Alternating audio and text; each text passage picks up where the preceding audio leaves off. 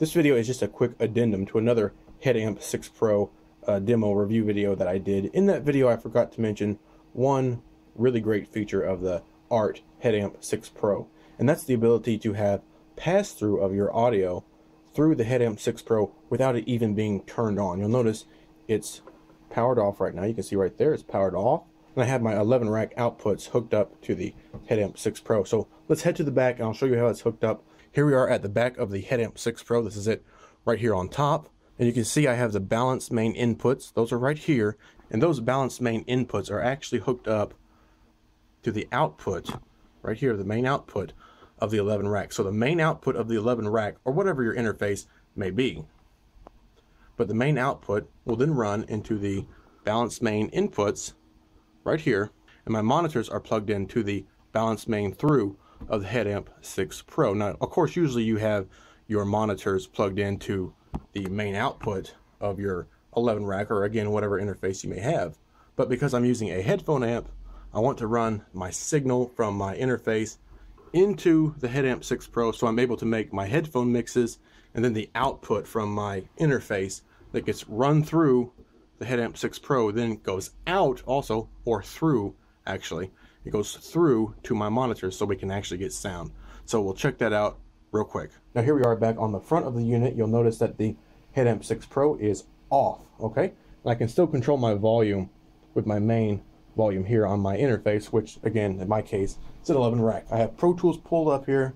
I have SampleTank inserted on a track and a few MIDI patterns. So I'll just hit play here in Pro Tools, and then that audio is going to be sent out of Pro Tools into my Eleven Rack, and then that runs through the Headamp 6 Pro. Again, it's powered off, and that runs through the Headamp 6 Pro and out to my monitors so we can actually hear those sound waves. Again, a really great feature. It doesn't even have to be powered on.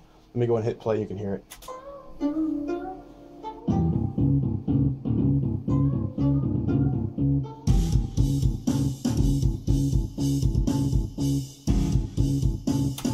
All right, so pretty cool. We heard all of that coming through our monitors without even having to power on our Headamp 6 Pro. Of course, we could power it on if we wanted to, and then we could, you know, hit play on Pro Tools. You can see I'm getting a little bit of signal here.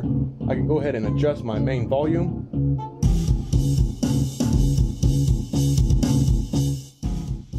All right, so there you go. You can use your Headamp 6 Pro without actually having to turn it on when, you know, if you're sitting by yourself, you're not going to need six headphone mixes.